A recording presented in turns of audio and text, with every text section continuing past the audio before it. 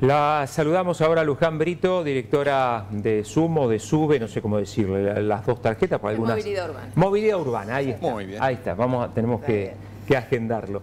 Bienvenida, Luján. Eh, bueno, se acerca fin de año y hay que hacer las renovaciones efectivamente de los beneficios locales. Contanos un poco cómo se están organizando. Sí, así es. Este, a partir de la semana próxima vamos a estar iniciando el operativo en el Teatro del Fuerte, lunes 18, a partir de las 7 de la mañana y hasta las 2 de la tarde. Vamos a arrancar un poquito más temprano por el tema del calor y como vamos a dirigirnos también a una gran población que es adulta mayor o personas con discapacidad, arrancamos tempranito. Así que el lunes a partir de las 7 de la mañana vamos a estar iniciando el operativo.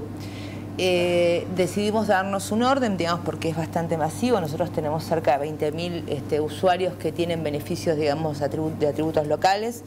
Eh, así que vamos a hacer los lunes 0 y 1, martes 2 y 3, miércoles 3 y 4 y así sucesivamente. Eh, para, para poder darnos un espacio, sabemos que vamos a tener mucho caudal de, gente, por eso lo hacemos en el teatro.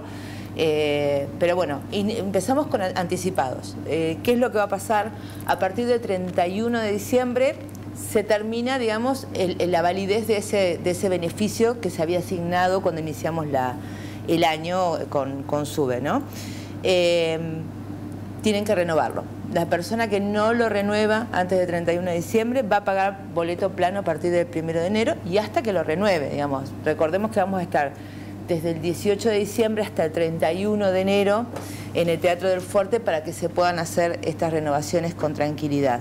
Eh, a no desesperarse, nosotros hemos logrado obtener un permiso para iniciar antes esta renovación, dos semanas antes de que finalice, justamente para llevarlo a hacer una, una transición ordenada nuevamente eh, y pasar nuevamente a actualizar los atributos locales. Bien. Justamente, bueno, esto, actualizar los atributos locales. Eso iba a Sí. preguntarle, ¿qué es lo que contempla esta actualización? ¿Solamente lo local o los atributos generales que tiene No. la SUBE? No, no. La SUBE tiene los federales, digamos, que no son la gran mayoría, digamos, de la población nuestra, pero los tiene, que son jubilados y pensionados, Progresar, AUH, la tarifa social federal no se toca. O sea, eso No tiene vencimiento. no tiene vencimiento. Los locales sí. Los locales cada 31 del año, en el caso de los estudiantes va a ser en el mes de febrero. También vamos a iniciar otro operativo. Eh, sí hay que renovarlo porque hay que validar todos los datos que requiere la ordenanza local, ¿verdad? ¿Cuáles serían esos atributos locales específicamente para, para orientarnos? Tenés, bueno, pasajero frecuente, el pasajero obrero, el boleto de personas con discapacidad y sus acompañantes, y los que tienen que ver con adultos mayores, veteranos de guerra y pensionados. Digamos, ese es el, el universo que vamos a estar digamos, atendiendo en estas próximas semanas. Después, en el mes de febrero, ya iniciamos con los estudiantes de cara digamos, al inicio de clases. Bien, bien. Bueno, eso es, eso es importante. Eh, los atributos nacionales no se tocan, eso no se vence, sí lo local. Eh, estamos con Luján Brito. Luján, hay mucha gente, eh, por ejemplo, el boleto obrero, que hay mucha gente que es trabajadora y trabajadora en blanco y no, no se acuerda, no tiene en cuenta que está este atributo, que pueden pagar menos. ¿Es muy utilizado o, perciben ustedes que falta todavía gente que pueda utilizar esto? Tiene una buena cantidad de la población que lo utiliza. eh, ha crecido inclusive. Lo cierto es que eh, por ahí antes por el sistema que teníamos, teníamos renovaciones mensuales, teníamos Era renovaciones, claro, con Mm. una sola línea, para otra línea había que tener otra tarjeta y demás. Nosotros hemos logrado trabajar con, digamos, con, con la gente de SUBE para que sea para todas las líneas, multilínea, ¿sí? con una única tarjeta y lo vamos a hacer una vez al año. Esto se Bien. va, digamos, se va, eh, perdón, cada tres meses.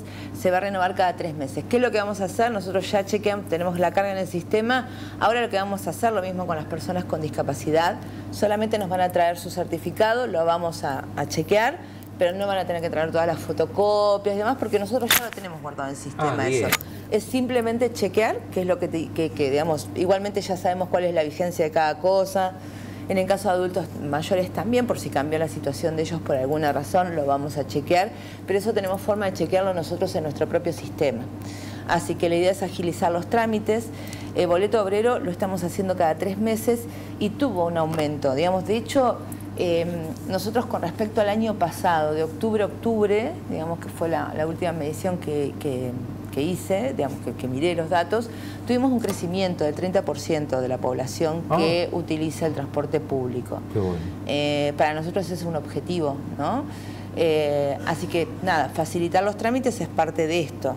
Eh, por eso todas las personas que tienen que renovar solamente tienen que traer su DNI y el original de lo que ya la saben, ¿no es cierto? En el caso del, obrero, su recibo de sueldo, y se lo lleva de nuevo. Nosotros no nos vamos a quedar con eso, vamos a constatar los datos, a contratar, a constatar, sí, sí, sí, o contrastar. Eh, contrastar, ahí está. Eh, y después los vamos a, a liberar y en el caso de obrero cada tres meses y el resto una vez al año todo el resto una vez al año. Luján Brito, con ella estamos conversando. Cuando hablamos de boleto obrero, ¿de qué hablamos? Porque, bueno, hay muchos que pueden llegar a interpretar, no, pero obrero, yo no trabajo en ninguna fábrica, soy un administrativo, soy un empleado de comercio, no, no soy un obrero de una empresa metalúrgica, un obrero de la construcción.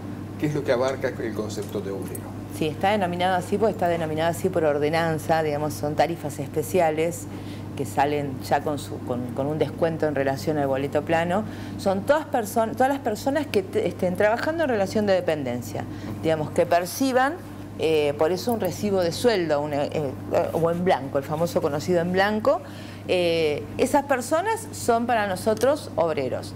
Después tenemos, en el caso de pasajeros frecuentes, que es, una escala de, descuentos en relación al uso, que son para esas personas que tal vez trabajan, pero no están en, situación, digamos, de la, famosa changa, en blanco, bueno, que utilizan a diario el, transporte público, también pueden obtener descuentos.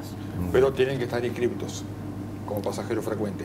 Se tiene que, inscribir, esto no es automático. Todo lo que nosotros estamos nombrando son los beneficios locales, que son alrededor de 16. Entonces, para eso nos requerimos que nominalicen la tarjeta y nosotros asignar, que somos lo único que tenemos la capacidad de asignar el beneficio que le toca. Bien. Eh, Luján, hay un montón de mensajes, eh, varios tienen que ver con el tema discapacidad. Algunas cosas las dijiste, pero las vamos a reiterar. Alguien pregunta, ¿dónde actualizan las SUBE para las personas con discapacidad? Y había otro también relacionado con esto, dice, por las tarjetas con discapacidad también hay que ir la respuesta le va a servir a, las dos personas que preguntan. Correcto. Y también nos piden por acá el cronograma, Claudio. ¿Cómo va a ser justamente que dijo que iba a ser de manera ordenada? Bueno, vamos a ir dándolo también a conocer en el próximo bloque o ahora. Eh, eh si quieres ahora y después eh, respondemos otras preguntas en el otro bloque. En relación al tema de las personas con discapacidad, nada, traer nuevamente su tarjeta. Allí nosotros con su número lo vamos a actualizar eh, al dato el certificado de discapacidad y su DNI, ambos originales. Nosotros no vamos a quedarnos con copia de nada en esta oportunidad, pues ya, ya digamos, ya asentamos en nuestra base de datos. Eh, y en ese caso, lo único que tienen que hacer es venir directamente la persona con discapacidad y en el caso que tenga asignado un acompañante, con el acompañante. Recordemos que los acompañantes de las personas con discapacidad tienen viajes gratuitos ¿sí? para acompañar a las actividades. Eh, ¿Y cómo lo vamos a hacer? Independientemente del grupo que sea, no importa si es pensionado, jubilado, persona con discapacidad, los lunes vamos a arrancar con el 0 y el 1, los martes con el 2 y el 3, los miércoles con el 4 y 5, los jueves con el 6 y el 7 y el viernes con el 8 y el 9. Son todas las terminaciones de sus documentos de identidad. Entonces, los lunes vamos a empezar con ese grupo. Al próximo lunes al lunes subsiguiente, bueno, en este caso creo que nos toca Navidad, va a ser pero bueno, vamos a, vamos a hacer un esfuerzo el martes. Eh, va a pasar lo mismo. Los lunes va a ser siempre indefectiblemente desde el 18 hasta el 31 de enero que termina este operativo, los lunes es 0 y 1. Correcto. Bien. Eh, después lo vamos a reiterar en el próximo bloque. Está con nosotros Luján Brito. Hay varios mensajes. Si vos querés preguntar algo, 2494-062-800. Y después, eh, para los que están en la tele, ya saben cuál es el contacto.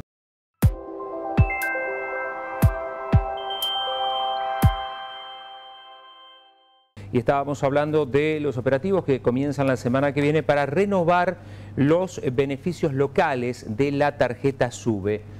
Varios mensajes, Rodolfo. Exactamente, tengo la SUBE a nivel nacional, soy jubilada de la mínima, tengo que renovar el descuento a nivel nacional, dice, igual tengo que renovar si ella tiene solamente descuento nacional. Ella, si es jubilada solamente con la mínima, le invitamos a que se sume al beneficio local, que es el PAN por el cual tiene 10 viajes de carácter gratuito y un 60% después de, digamos, al viaje 11 sobre el descuento, digamos, sobre el plano, un 60% de descuento. Si tiene la nacional, no tiene que renovar nada, no tiene que venir, no tienen que hacer nada. Pero el Ahora, que tiene... Si tienen la mínima y tienen los 10 viajes gratuitos para los jubilados, pensionados y veteranos de guerra, tienen que venir a renovarlo. Si no, van a viajar con el 55% de descuento que los va a alcanzar sí o sí. Eh, por eso les digo, no se apuren tampoco, no es necesario que se apuren a hacer el trámite ni a pasar calor ni, ni nada porque van a seguir teniendo, estando cubiertos por la nacional por el momento. Pero si no, digamos, si tiene la mínima, puede aprovechar también los viajes gratuitos, ahí sí tendría que ir a hacer la renovación. Sí, y en la renovación, que es un buen pie, tienen que traer sí las fotocopias de recibo de sueldo, de su DNI, ¿por qué? Porque es la primera vez que se inicia el trámite. Entonces nosotros ahí tenemos que, digamos, hacernos de la información para armar su legajo. Clarísimo. Ahí de alguna manera acaba de contestar otra pregunta. Decía, soy jubilada y aún no tramité el beneficio. ¿Lo puedo hacer? Dice Madel. Sí, claro. en cualquier, en cualquier momento. Eh, pensión, tengo pensión por viudez. ¿Debo ir? ¿Algún beneficio? Esa persona seguramente debe tener o pensión o jubilación y ya debe estar alcanzada por la tarifa social nacional.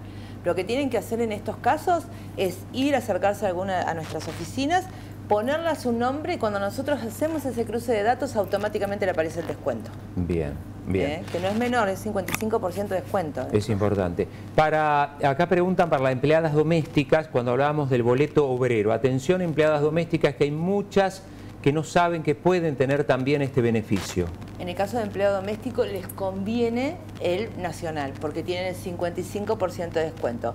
El boleto obrero, hoy por hoy, digamos a nivel local, lo tenemos al 20% de descuento. Bien. ¿sí? Eh, eh, digamos, esta persona, si tiene la tarjeta y nunca se inscribió y es empleada doméstica... Tiene que hacerlo. ¿Y cómo se inscribe? ¿Por ustedes? Viene con nosotros, viene con su, con su DNI original. Sí les pedimos que traigan el DNI original y el DNI el último que hicieron. Bien. ¿Por qué? Porque nosotros sacamos de ese DNI una serie de números que nos da un número de trámite que solamente con ese número podemos acceder al cruce de información y que se asigne ese descuento a la persona. Tienen que ir con el DNI. Y la otra pregunta es, ¿tienen que tener por lo menos un trabajo en blanco? Eh, hay empleadas domésticas que por ahí en un lugar están en blanco, en otros lugares no. Sí, sí, al menos un trabajo, o sea, un recibo de sueldo que, que, se podamos constatar que es una persona en relación de dependencia. Bien, bien, bien. Muy buenos días chicos, yo tengo, la quería preguntar a Luján lo siguiente, yo tengo un beneficio en el colectivo de pensión no contributiva por discapacidad. Mm. Yo quiero saber qué papeles tengo que llevar para que me lo renueven. Nada, solamente su certificado original, su DNI, hacemos la constatación de datos, nosotros ya tenemos cargado en el sistema seguramente, eh, se viene con eso, con la tarjeta que tiene y nada más. Bien. No, no tiene que traer mucho más. A ver si acá hay algún beneficio, hay uno que seguro que sí, eh, no sé si lo sabrá. Buenos días. Para los que tenemos monotributo social, ¿cómo sería el trámite? Eh, y ahora, ¿saben cuál es el precio con descuento y el boleto plano? Dice, estoy haciendo cuatro viajes por día. La persona que tiene monotributo social, ya con solo poner a su nombre la tarjeta y que hagamos este cruce de datos que decimos nosotros, esa persona ya tiene que tener, inclusive puede hacerla ella misma, digamos, puede ser de autogestión en este caso, eh, tiene un 55% de descuento sobre boleto plano, que recordemos hoy está 2.33 y, centavos. Sí, sí. Pero digamos, tiene un 55% de descuento, es un descuento importante para alguien que hace tantos, tantos viajes por día. Lo que nosotros recomendamos, todos los usuarios que tengan tarjeta SUBE, que se inscriben, que la nominalicen. No es necesario venir a nuestra oficina, sé que a veces no nos gusta andar haciendo trámites, pero puede hacerlo vía web, ponen, es más, en un buscador cualquiera ponen SUBE, los manda a, a SUBE y ahí pueden hacer su gestión. Pero casi siempre alguien se ve alcanzado. Y en el caso que no, por ejemplo, supongamos esta persona que hace cuatro viajes por día, se puede inscribir como pasajero frecuente y va a tener su descuento y le va a convenir. Tal cual, tal cual. Soy jubilada de la mínima y ya tengo la sube e hice el trámite acá en Tandil. ¿Tengo que ir igual? Pregunta por acá, mensaje que recién lo acaba de mandar, así que Tenés que, volver, sí, va a tener que, volver, va a tener que volver. nada, nuevamente con el DNI y con, y con el con, el, con el recibo de el recibo de haberes. ¿Mm? Pensión de madre de siete hijos, nos pregunta Nancy por acá. Solo con DNI, cruce de datos y va a tener el descuento. Bien. Eh, mira, esta es una pregunta interesante, no tiene que ver con esto. Dice, habían hablado ustedes, nosotros, no vos, eh, eh, sobre la posibilidad de tener la app que nos permita ver los recorridos del transporte. ¿Se sabe algo al respecto? Es una buena pregunta, mira, la podríamos haber hecho nosotros, yo me había olvidado de esto. Sí, sí, estamos trabajando ya con Nación, estamos con los, los cruces de datos, sí, estamos bastante avanzados, estimamos, queríamos lanzarlo antes de que termine el año, eh, pero bueno, probablemente sea ya para el verano y antes que empiecen las clases, por sobre todas las cosas. Nosotros estamos trabajando en un sistema de arribo predictivo que se llama Cuando Subo, que es una app de Sube. Nosotros no pudimos mantener la, nuestra. Probablemente en un futuro trabajemos en el desarrollo de una propia más focalizada en el usuario y no tanto en la línea de transporte. Eh, pero sí, vamos trabajando, estamos avanzados, venimos en un, en un buen diálogo, ya hemos mandado información. Ahora nos resta cargar eh, lo que tiene que ver paradas, que tiene que definirlo el Consejo Deliberante, que hace unos días había mandado un expediente a, Sumo y bueno, nosotros hicimos algunas recomendaciones con respecto a lo que habían mandado, así que bueno, supongo que se estará definiendo, no creo que se trate hoy, pues se va a estar tratando de presupuesto por lo que entiendo. Estamos trabajando en eso y también aprovecho la oportunidad para recordarles, yo sé que, Miguel habló con este, este, tema con vos, o acá, aquí en, el, en el noticiero, que tenemos los reclamos, el sistema de reclamos con QR, ¿sí? Lo van a encontrar a mitad del colectivo, lo van a encontrar en la zona del descenso en la parte de atrás.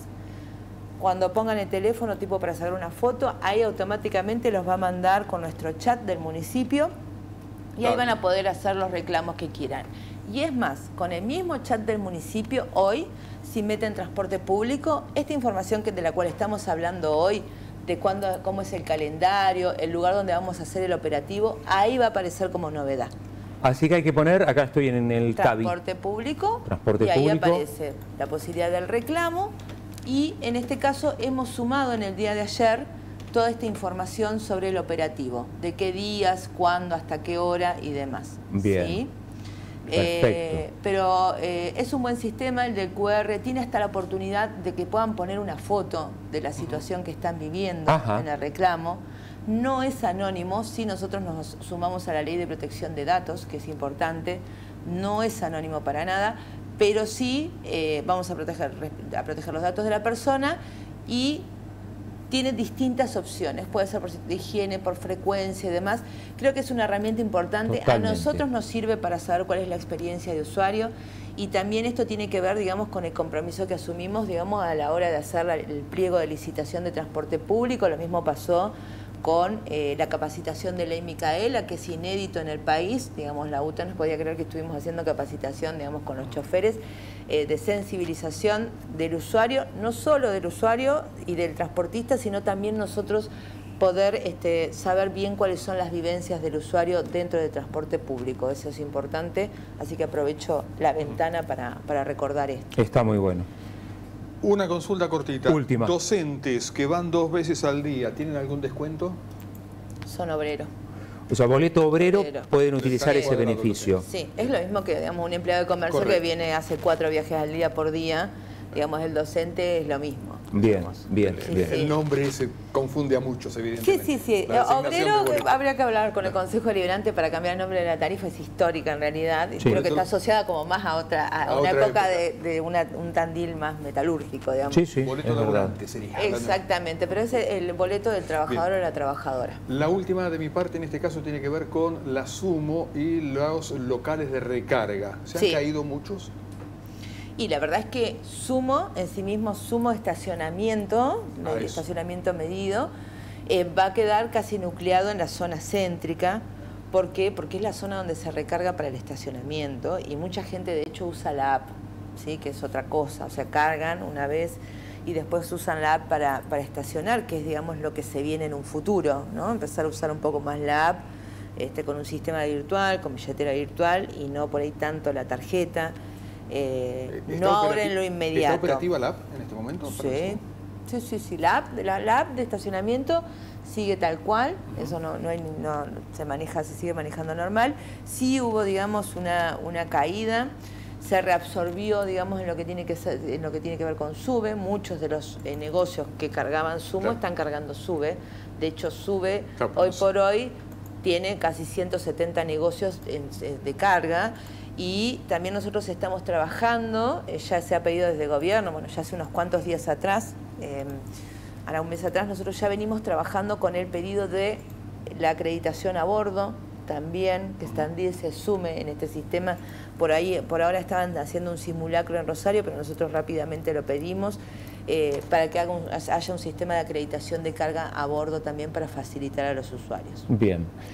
Bueno, te ocupamos dos, tres minutos más de lo que te habíamos dicho. Luján, te liberamos, gracias, te vamos a seguir molestando. Luján Brito es la directora de movilidad urbana. Probablemente la semana que viene, aunque sea por teléfono, te volvemos a molestar. No problema, ¿Eh? gusto, muchas gracias. Gracias, Luján. Gracias a ustedes. Correo electrónico. Correo electrónico. Ah, Dano nos va a ayudar de vuelta. Sube arroba tandil.gov.ar y el WhatsApp para estar en contacto, por aquí lo estoy viendo en el diario, 2494 42... Ahí está cualquier cosa, ¿eh? Ajá, bien. 2494 42 34 33. Correcto, sí, señor. 2494 42 34 33. ¿eh? Bien.